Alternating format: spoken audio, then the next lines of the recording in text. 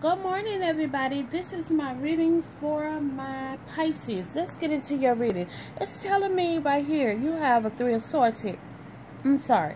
You have the Nine of Swords. This is telling me that you're up at night, you're worried, and you're stressing about a situation. Pisces, probably about a no good relationship here because this Two of Cups is in reverse here.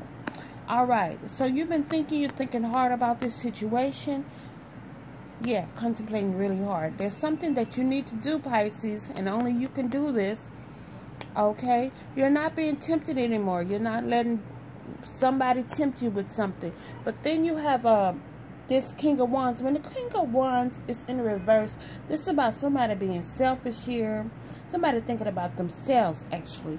But I'm here to tell you that you're going to have a new beginning here. You're going to have a new love relationship that's going to come to fruition and you're gonna win in some kind of situation. This is victory. But it's also telling me that you need to be a little bit more charitable with your funds. It's telling me that yeah this is about charity. You need to be a little bit more charitable. All right pisces.